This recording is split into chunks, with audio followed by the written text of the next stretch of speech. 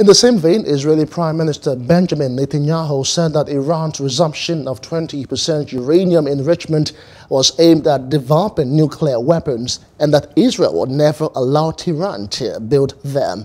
Iran has resumed 20% uranium enrichment at an underground nuclear facility, the government said earlier on Monday, breaching a uh, 2015 nuclear pact with major powers and possibly complicating efforts by U.S. President-elect Joe Biden to rejoin the deal. The enrichment decision, Iran's latest contravention of the accord coincides with increasing tensions between Iran and the United States in the last days of President Donald Trump's administration.